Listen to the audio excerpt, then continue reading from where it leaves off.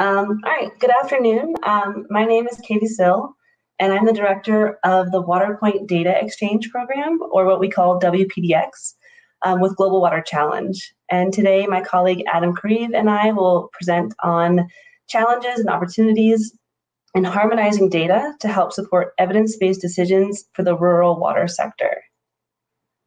Uh, the challenge is that the world is not on track to reach the Sustainable Development Goal target of providing universal access to water and sanitation by 2030.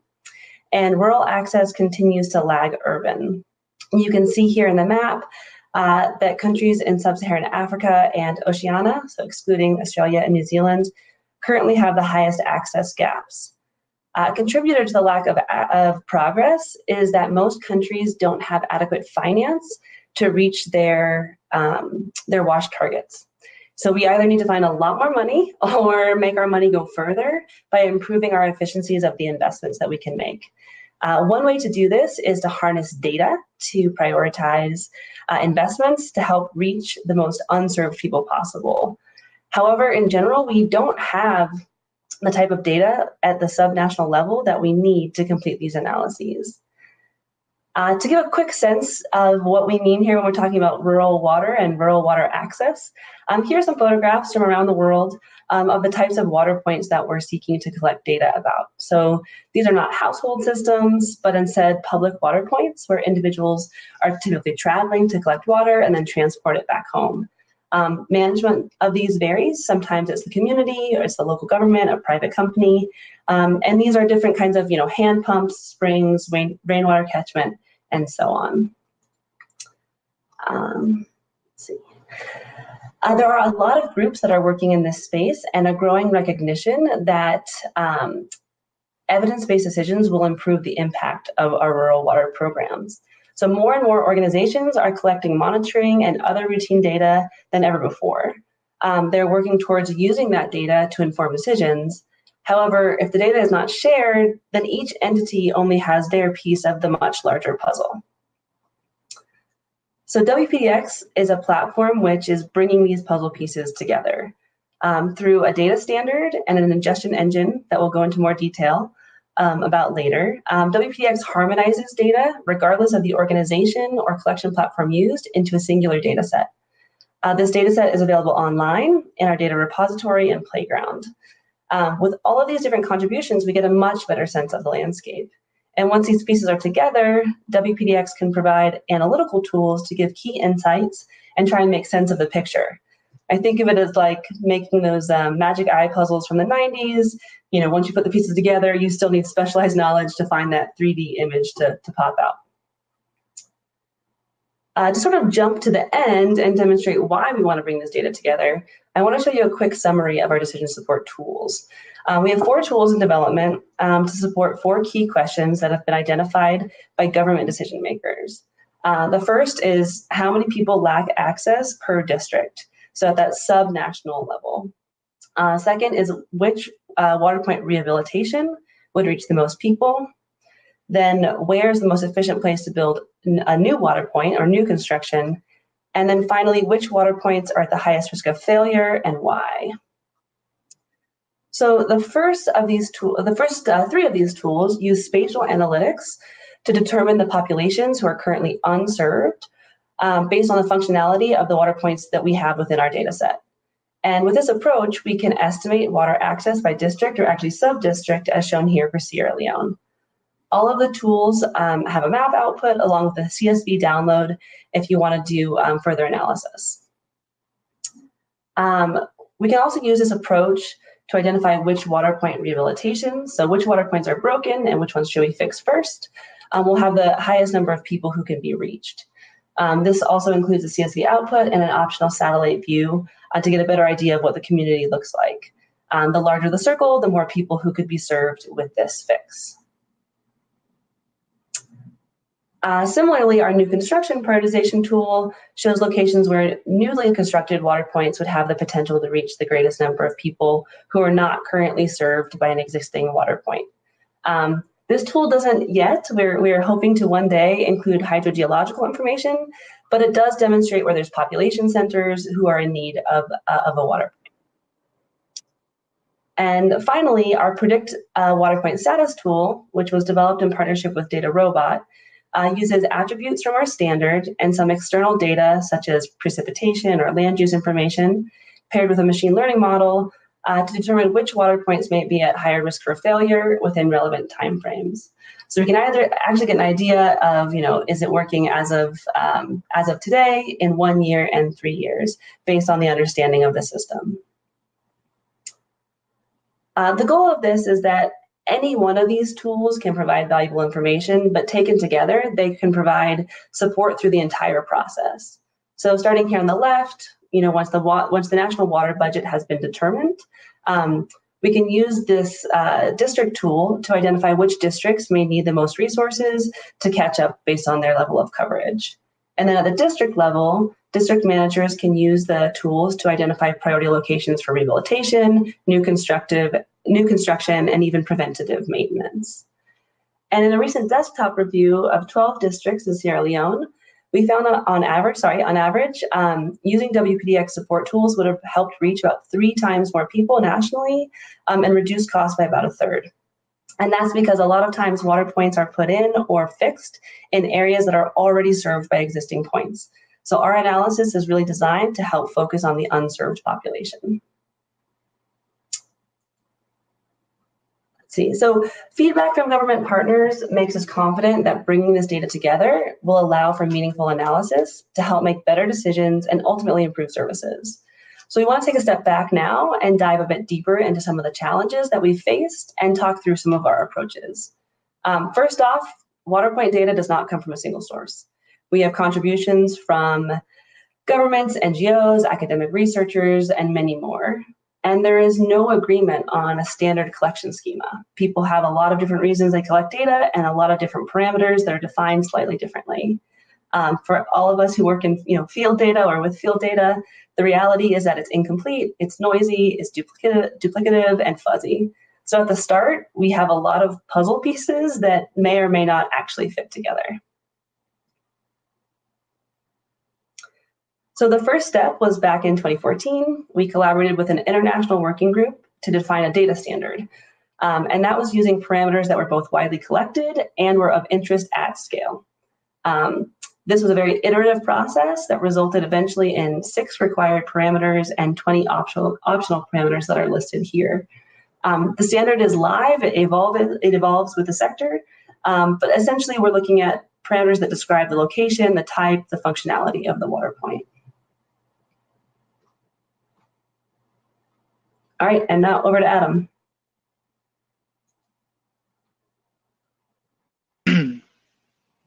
okay. Um, so Katy mentioned the, the standard, but uh, um, even with the standard and assuming everyone would sort of uh, uh, use the standard, we're still uh, in, big problems because the data that is provided inside the standard is uh, is inconsistent and and uh, it's not just about the fields, but, but it's also about the, about the, the values themselves. So here you have a, an example of, of uh, um, basically the same technology being reported in different rows. Uh, it can be can be provided in, in, in, lots of different ways, and the same kind of, of water point can be described in lots of, lots of, lots of different ways. So it's not, not just about the, the, the field, but also about the data uh, inside the fields. Um, so uh, again, we need to, to understand the domain to, to develop some heuristic to do that to do that sort of mapping. So I, I want to talk a bit about uh, um, sort of the, the, the, technological solution that we um, implemented to uh, sort of tackle those challenges, you know, the, the multiple organizations and the fuzzy uh, data and the fuzzy structure. And one of the goals uh, uh, in that solution, uh, we, we can go to the next slide.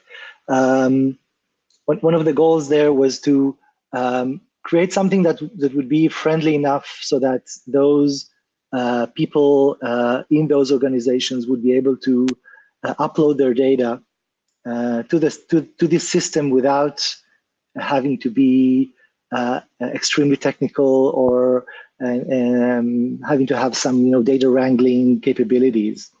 Um, we don't uh, uh, want to sort of uh, require specific structure or specific values because if we do put these requirements, it would just mean that we won't get the data because sometimes the files are just there and either we do the wrangling or no one else will, will do that. So wanted to be able to, to, to get the data as is.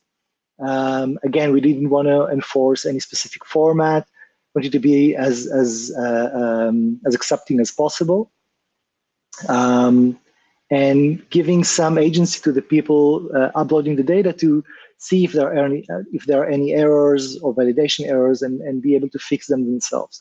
So it, it really needed to be something that would be sort of uh, uh, tackle all the barriers that we usually uh, encounter in these sort of systems.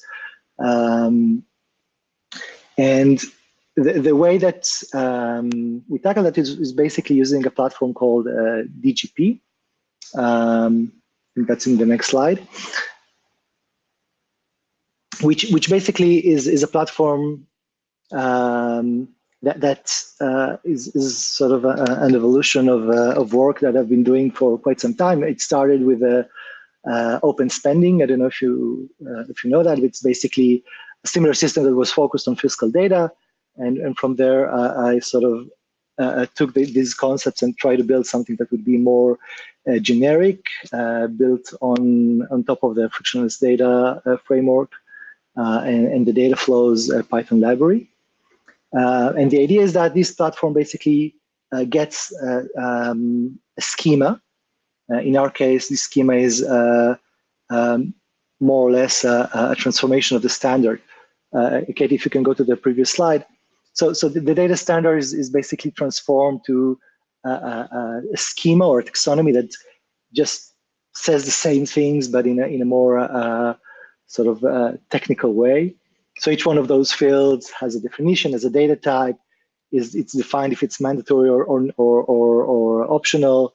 Um, it has some validation rules, um, and once that schema is uh, sort of put in in the DGP uh, platform, then uh, people can uh, um, basically go to the platform, upload a file, and, and do a, a simple process of mapping the columns in their uh, source file to the columns of that schema, um, where mandatory columns are uh, sort of mandatory and optional columns are the more the merrier, but uh, uh, are not are not obviously required.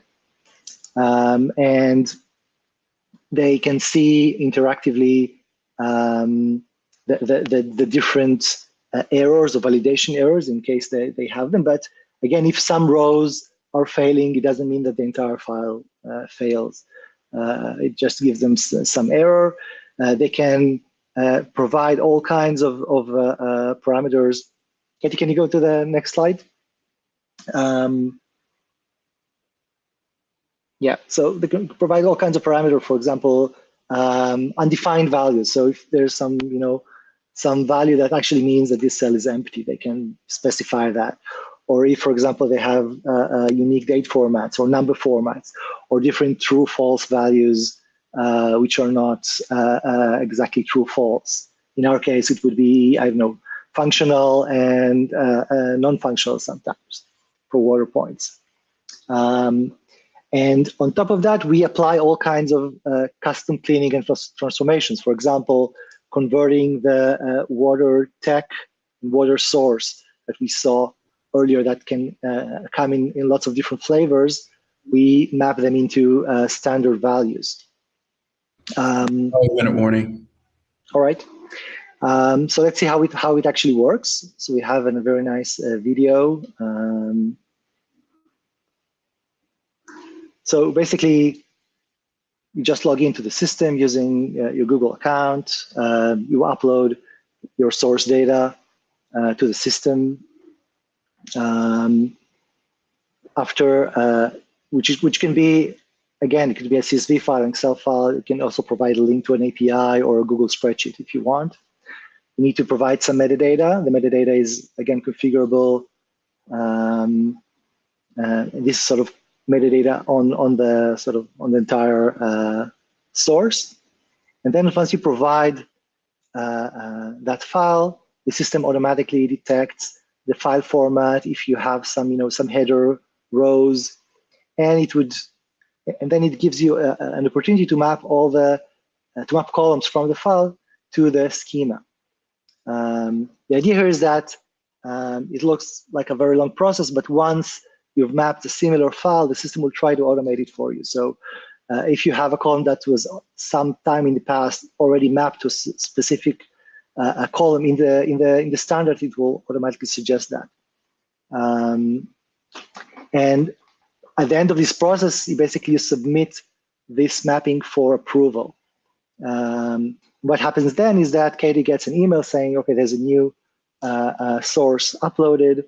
Um, she can then take a look, see if she approves the uh, the file, and, and and if so, it would go and uh, um, basically join the rest of the water points in the in the harmonized data set. Katy, you want to take it from here? Sure, thanks, Adam. Um, this is just an example of kind of us bringing in the data. So you can see here on the left is a list of different NGOs and organizations that have shared data with us. And here's as they kind of appear on the map, and you can begin to just see, you know, each of these pieces coming together to present a much better um, overall view. What's neat is at the end, the Ministry of Water, so the government data set comes in, um, but you can actually see that some of these NGOs are still working in spaces where the government didn't have that data. So it can even provide information to the government as well as to others working in the sector. Just to give a quick kind of here's where we're at and the road ahead, um, we have over 600,000 WaterPoint records currently uploaded from over 80 organizations. And we are working to sort of continue to build new and improve upon our existing tools um, to allow for better visualizations, you know, an easier identification of, of these locations where you might want to work, um, figuring out which locations are likely to fail and really digging into that why um, and what can be done to, to help avoid that. And this is about, you know, as data data driven decisions are, um, providing an objective perspective to balance with political pressures. Water is a very political area, and so this is trying to kind of balance out and focus on on where there's unserved people. Um, just a, a, nod and appreciation to our very generous uh, funders and key partners. Um, our contact details here, and that's it.